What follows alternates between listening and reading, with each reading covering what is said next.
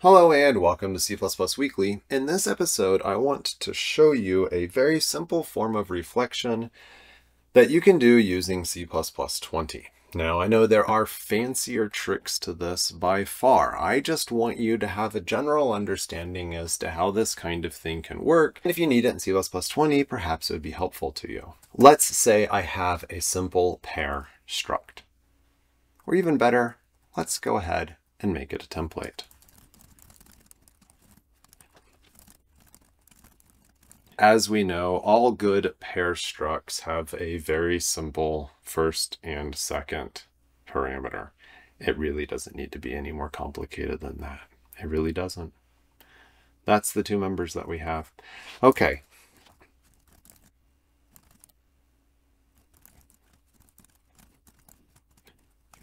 I've got my two members. They are called first and second.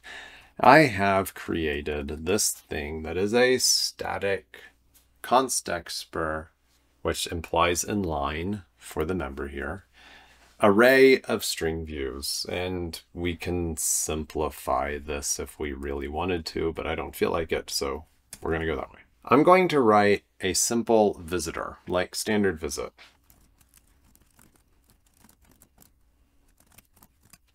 This visitor is going to visit all of the members of my struct. In this case, my pair.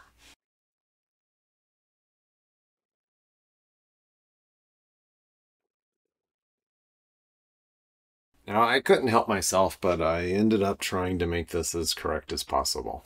We're just going to implement the 0, 1, and 2 cases. So if there are no strings, nothing to do. If there is one string or one name, then we decompose the one element. If there's two, then we decompose two elements. Again, I want to remind you, I am doing this in C++20. This is simple reflection for C++20. Later standards have better options. You might maybe use this in 23. You definitely don't want to use it in 26. Let's actually go ahead and use this thing.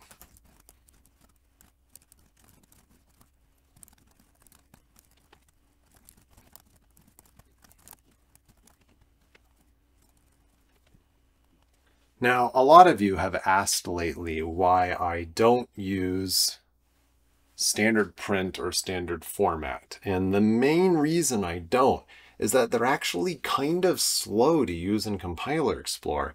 These things are heavy on the compiler, unfortunately, much more so than standard out. There we go. So first is 2, second is 2.3.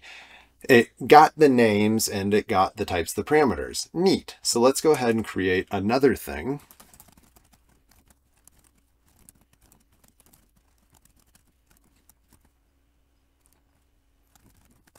The interesting thing about this is if there's an actual mismatch in the number of names and the number of parameters decomposed by the thing, then we'll get a compile time error. We're going to see it fall down here in just a minute. Well, it'll actually, unfortunately, succeed in its compilation and simply not do anything because we never decomposed the three member version of this. So it's just going to not do anything on my third one. We should put some sort of perhaps unreachable or I don't know, something deeper in here. Let's go ahead and decompose the three version. And this is an unfortunate amount of copy and pasting code, but in C++20 there's no great, better option of doing this. With structured bindings, you must bind all of the members. So we couldn't do like a partial destructuring or anything like that.